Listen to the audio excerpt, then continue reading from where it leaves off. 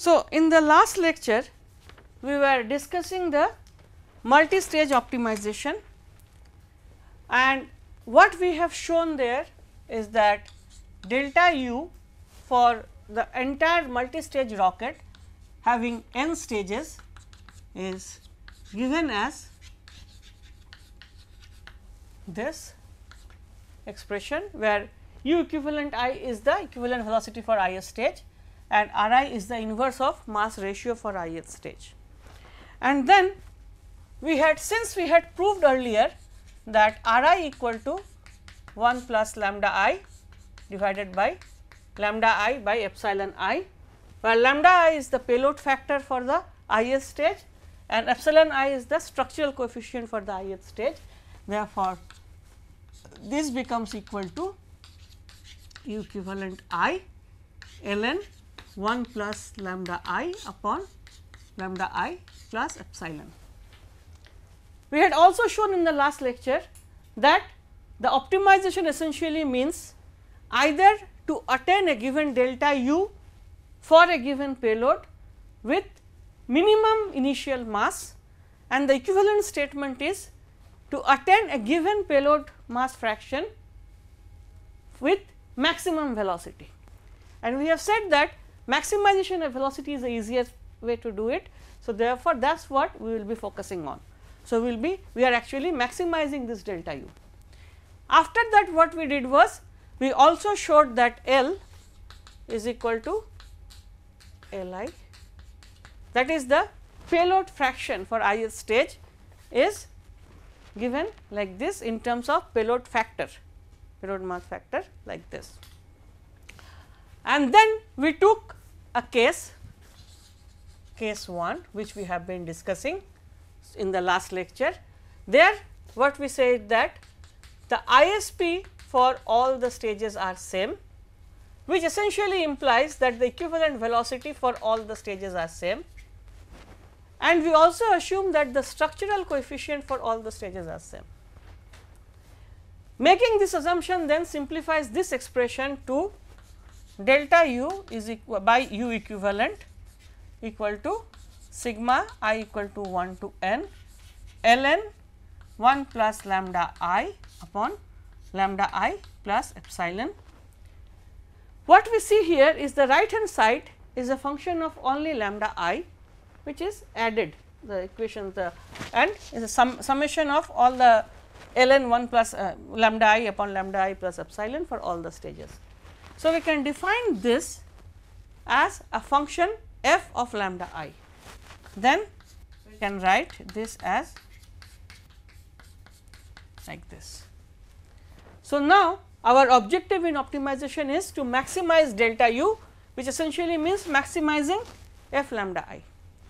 But we have said that we have also have a constraint and that constraint is that the overall payload fraction is the product of independent individual payload fractions. This is the constraint that we have and this is a given quantity L is a given quantity. Now, since we have shown that L i can be given like this, we can write this as i equal to 1 to n lambda i 1 plus lambda i. Then what we do is since this is a product and here we want to have a summation, what we did was we took natural logarithm of L, then that becomes equal to this. What we see here now is that this term here is also a function of only lambda i and the left hand side of this is constant. So, this is a con constant which is then can be written as equal to g lambda i. Okay. Now, if we multiply this constant with another constant, it still remains a constant, right. So, now if we take this function and add a constant to it and then now if we say that we want to maximize this, then essentially maximizing this is equivalent to maximizing this plus a constant right because constant is going to be there always right. So, what we say is that we define a new operator or we new very uh, function L which is the sum of this plus this, but this is multiplied by a function alpha sorry a factor alpha. So, then this is equal to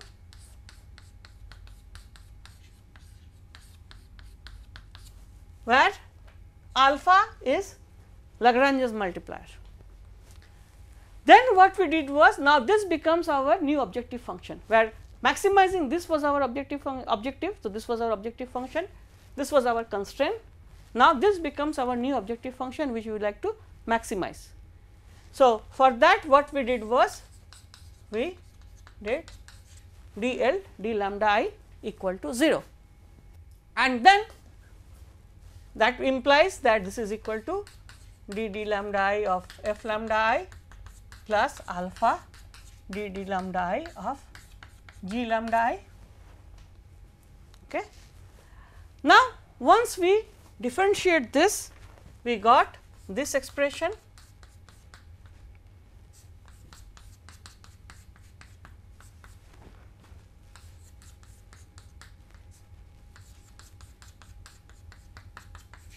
equal to 0 and after simplifying this we get an expression for lambda i.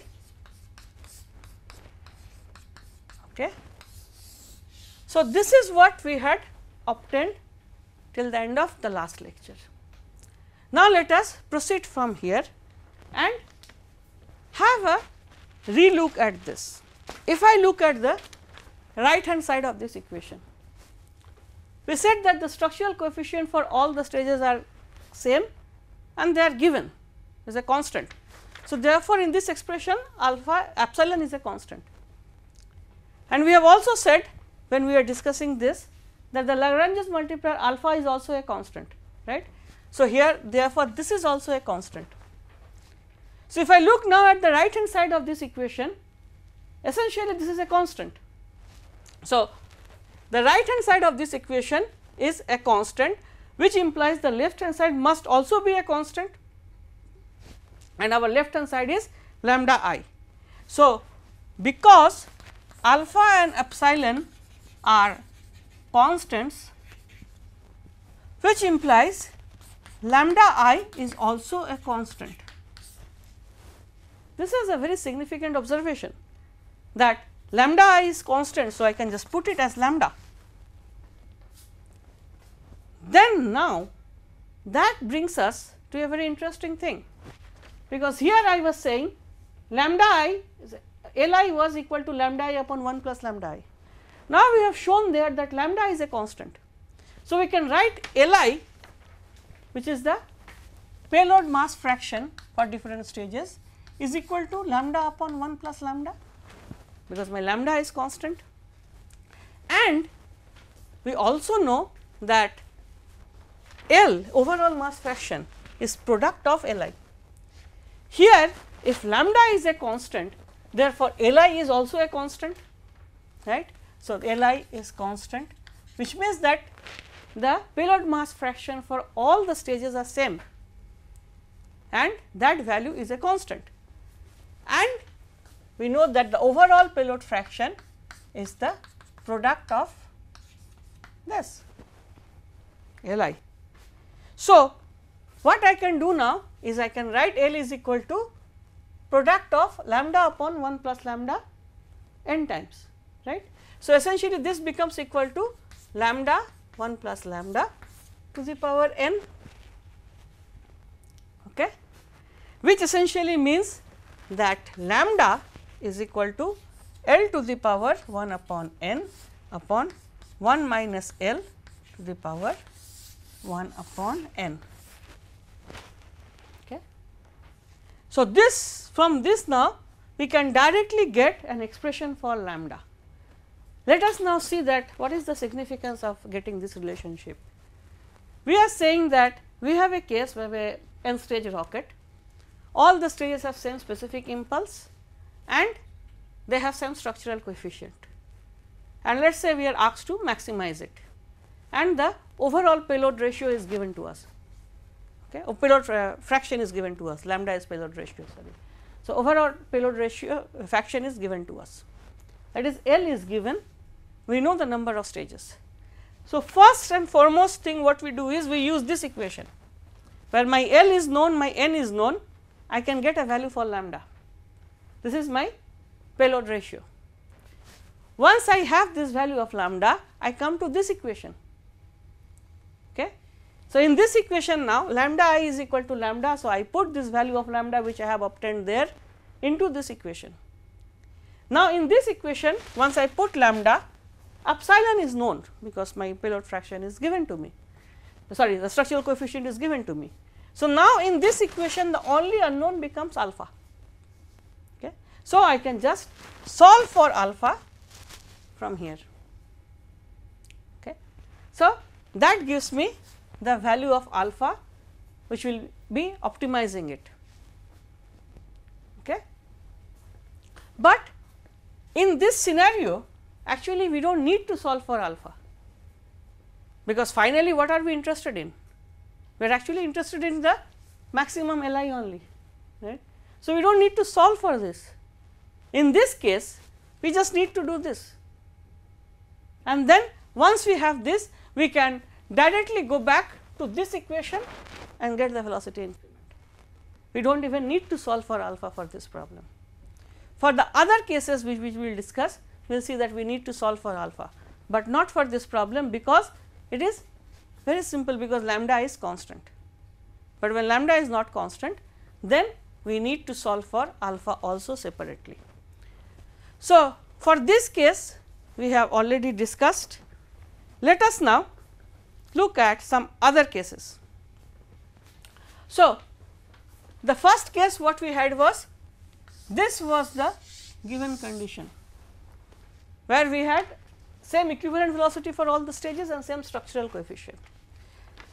With that we got this relationship that we do not need to solve even for alpha, we can directly get the value of lambda by solving that equation and we can solve for the problem. Let us look at the next case here. In this case what we will say is that okay, case 2, we will still maintain that u equivalent is constant which implies ISP is same for all the stages. You can still maintain that. But now what we say is that our epsilon i is not constant. That means that different stages have different structural coefficient. When that happens immediately the change is that R i is equal to now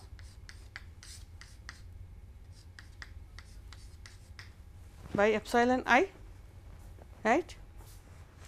Now, if you look back at my optimization equation here again the function here still remains of lambda i whereas now for every stage we also have epsilon i added here right but this still remains as lambda i. So, epsilon i only comes in f and we still differentiate with respect to lambda i. So, therefore, as far as this optimization equation is concerned epsilon is a constant which appears is appearing as epsilon i that is it. So, therefore, nothing here changes in the optimization process except this expression here epsilon is represented replaced by epsilon i. So, here I will replace this by epsilon i. So, what I will get then is that 1 plus lambda i minus 1 upon epsilon i plus lambda i plus alpha upon lambda i minus alpha upon 1 plus lambda i is equal to 0. So, once again I would like to reiterate the point that as far as this optimization process is concerned, nowhere we have epsilon i as the variable, right. So, the, our variable primary variable is lambda i. Therefore, in this optimization equation, we still can have variation in epsilon i then only thing that will change is that that epsilon will be replaced by epsilon i, everything else remains same. So, in that case then our expression for lambda i will now have epsilon i instead of epsilon. So, if I do that I will get lambda i is equal to alpha epsilon i 1 minus alpha minus epsilon i. Let me call this equation 8. Okay. So, now alpha here is a function sorry lambda i here is a function of alpha as well as epsilon i. So far so good, but the problem now is here in the previous case since alpha and epsilon both were constant therefore, lambda i was a constant equal to lambda and because of that we can do it like this and get a direct expression for lambda. But when we come back to this case now epsilon i is not constant it is varying from stage to stage. Therefore, lambda i is also not constant it is varying from stage to stage even though alpha is a constant. So, therefore, our L is essentially equal to pi i equal to 1 to n L i and my L i is equal to L i is equal to lambda upon lambda i upon 1 plus lambda i. So, this L i then will be replaced by this equation and in this equation I will replace lambda i by this. After that if I simplify it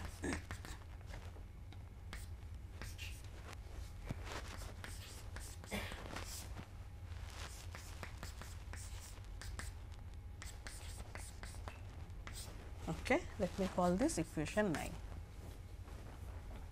so this is equal to pi i equal to 1 to n minus alpha epsilon i divided by epsilon i plus alpha minus 1 minus alpha epsilon i.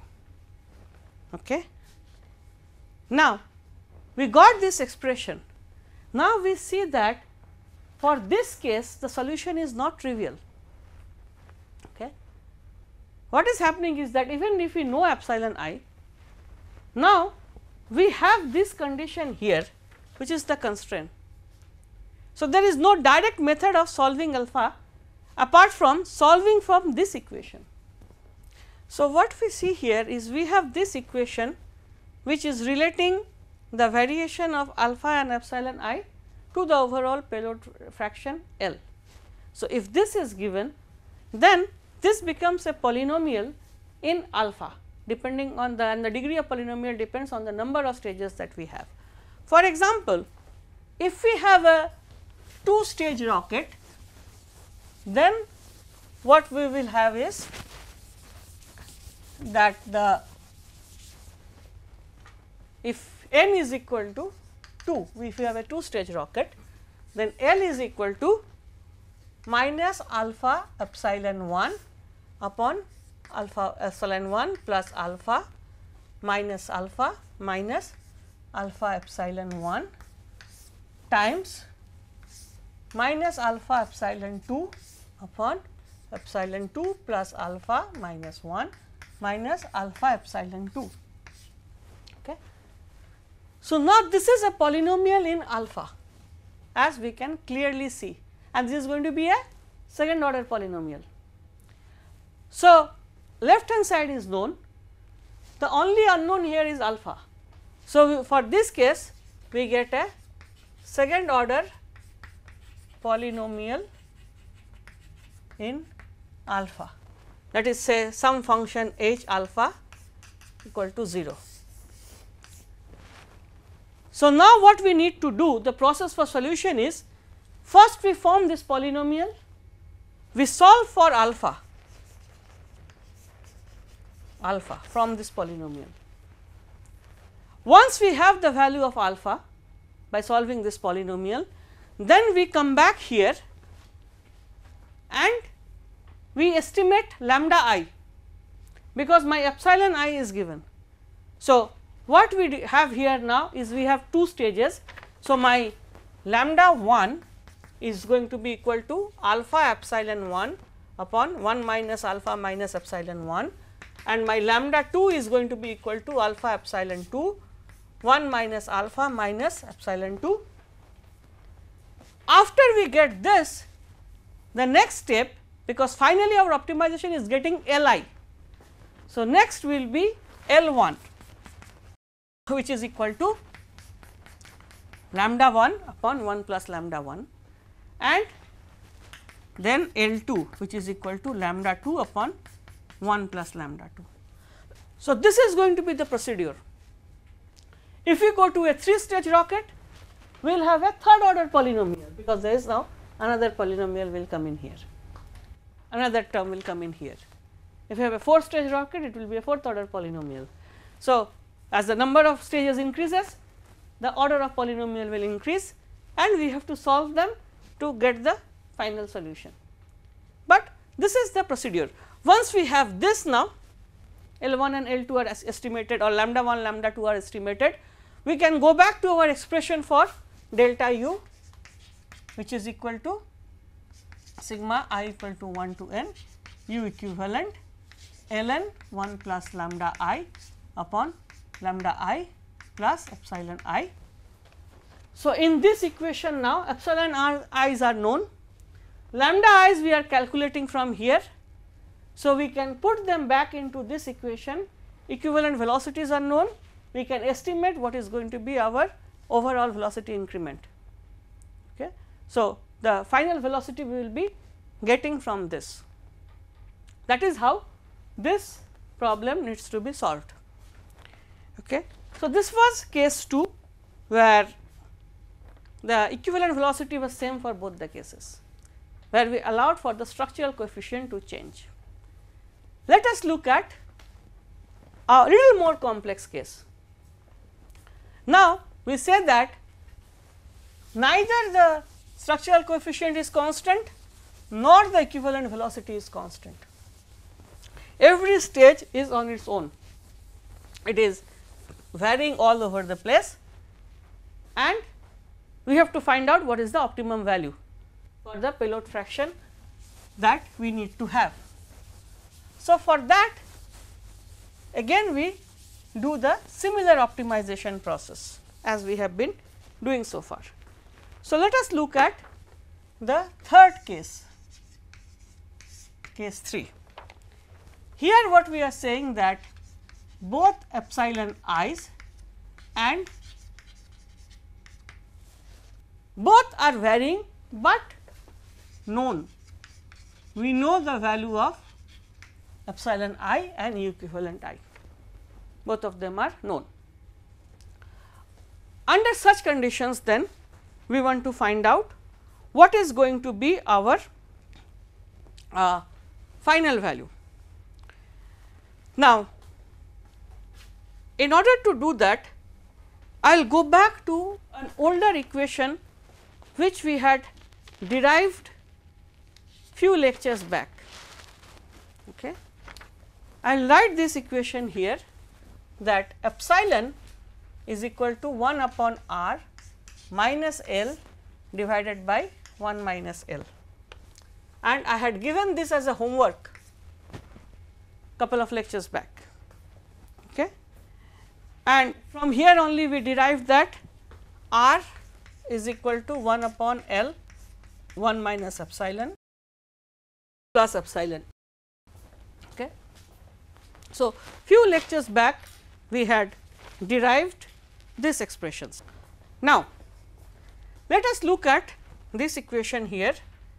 What we can say is that from here I can get an expression for 1 upon L and 1 upon L from here can be written as pi i equal to 1 to n 1 plus sorry first let me write L i 1 upon L i is equal to 1 plus R i minus 1 upon 1 minus epsilon i R i.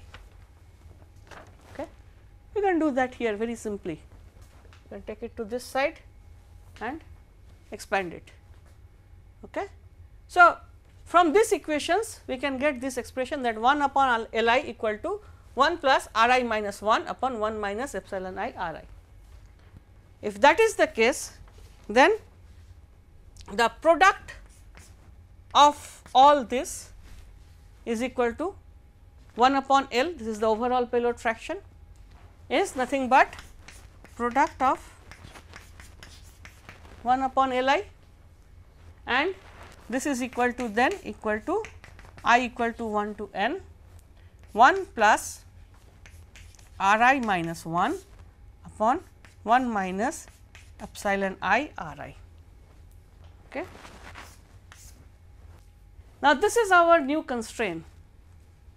Essentially the constraint is same, but now we are writing it in a little different form because our epsilon i is varying, our ISP is varying, everything is varying. So, we are trying to write it in a little different form. So, now let us go back to our overall velocity expression. Okay. So, this expression is equal to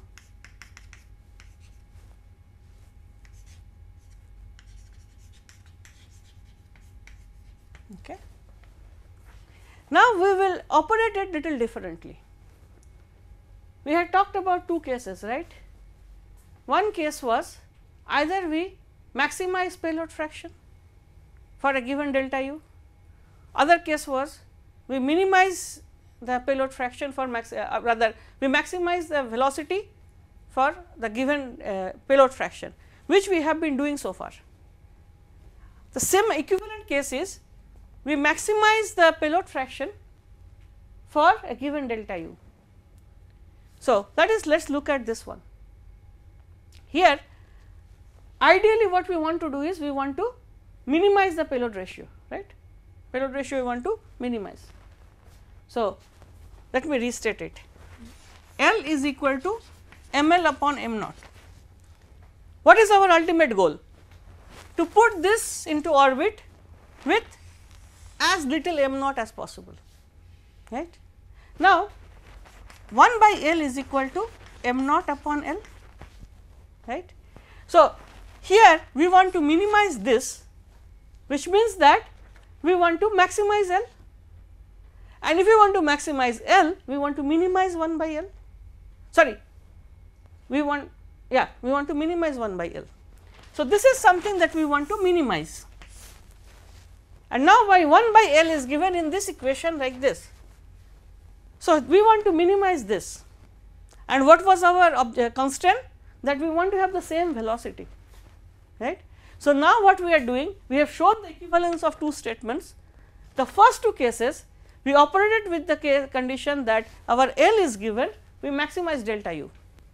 Now, we are taking the other equivalent what we are saying is that our delta u is given we want to minimize minim, maximize the payload ratio or payload fraction by doing um, for doing that we are going to minimize 1 by L. So, then now this becomes our objective minimizing this becomes our objective and this becomes our constraint. Okay. So, then we can let us go back to this equation and we can write ln of 1 by L which is this equation. When we take the natural logarithm of this then this becomes summative the product becomes summative. So, this is equal to then sigma i equal to 1 to n ln 1 plus r i minus 1 upon 1 minus epsilon i r i. Okay. And as we can see here, this is a essentially something like a function of r i and epsilon i, right. So, this is a function of r i and epsilon i. This is the function we want to minimize. So, in order to do that now we now, but this minimization has to be done with a constraint. So, what is our constraint? This delta u. So, this delta u value is given as sigma i equal to 1 to n u equivalent i ln r i. So, we can write this then as sigma i equal to 1 to n a function of u equivalent i r i. Okay. It does not depend on structural coefficient, it depends on u equivalent. So, now this is my constraint, this is my objective function. We see that the objective function is a function of r i and structural coefficient, the constant is a function of r i and the specific impulse. So, therefore, if I now form combining these two our modified objective function, the communality will be in r i. So, now in the present case what we are trying to do is we are trying to minimize this function which is essentially the inverse of uh, payload ratio uh, uh, mass uh, payload mass fraction which is given by this expression with the constraint that our velocity is fixed. So, now this becomes the velocity becomes the constraint and we have different values of uh, ISP for different stages. So, with this then then this term is our this will be L sorry yeah. So, what we do what we have done is we have taken log of this term then this becomes ln 1 plus r i minus i uh, minus 1 divided by epsilon i by r i. So, this becomes now our f r i. This is also a function of epsilon i, but what we have said is that the epsilon i is not a variable. We know the structural coefficient for every stage. So, for a given stage this is constant and then now this is our con uh, constraint uh, the constraint which we are working on. So, this is nothing but we can write it as once again here also g is a function of equivalent velocity of the stage and r i. But once again we are saying that equivalent velocity is known for every stage, ISP is known for every stage. So, therefore, it is function only of r i. Then now we define our new objective function as L r i which is f r i plus alpha g r i. Okay. So, now this is our new objective modified objective function. So, we would like to minimize this. Remember in the previous cases we maximized, but now we want to minimize it because it is 1 by L. So, then for the minima first let me write this as equal to. So, what we are doing is the variable that we are looking at is r i. So, this is L r i my f is equal to what is f? f is this term. So, this is equal to ln 1 plus r i minus 1 divided by 1 minus epsilon i r i. So, this is my d r i d f plus alpha which is the Lagrange's multiplier and d r i g r i. G is nothing but this term u equivalent ln r i. So, this is equal to u equivalent i ln r i and then we put for the minima this is equal to 0. Okay. So, we put this equal to 0. After differentiating this and rearranging, so again I will give this as a homework differentiate, differentiate and rearrange, do the maths yourself. What you will get is R i is equal to alpha u equivalent i plus 1 divided by alpha epsilon i u equivalent i. Okay. So, after rearranging we get R i as this. Now, we replace U equivalent i by ISPI GE right because we know that equivalent velocity is function of the specific impulse for each individual stages. So, this can be then written as alpha ISPI GE plus 1 divided by alpha epsilon i ISPI GE. Okay. So, this is the expression for alpha Ri. Now, we need to solve for alpha for that we need to get Ri. And how do you get an expression for Ri? We have remember this constraint always. So, we like to now relate this to this the Li, we will like to relate Ri to Li. So, we know that Ri is equal to 1 upon Li 1 minus epsilon i plus epsilon i this we had proved. Therefore, if I replace in this expression Li uh, Ri by this and then simplify it, we can get an expression for Li in terms of the other parameters. So, let me write the expression for Li. So, Li equal to, so what I am doing here is in this equation we can take Li here and Ri back here right and then for Ri we can put this expression and then do the rearrangement. Finally, we get Li equal to epsilon i divided by epsilon i minus 1 alpha ISP i times GE plus 1. Okay. And now, we have our L. L is equal to pi i equal to 1 to n L i. Therefore, L is equal to pi i equal to 1 to n that is the product epsilon i upon epsilon i minus 1 1 upon alpha ISPI GE plus 1. Okay. We will do a little more simplification here. We are operating with alpha. Let us define a new variable beta which is equal to minus alpha.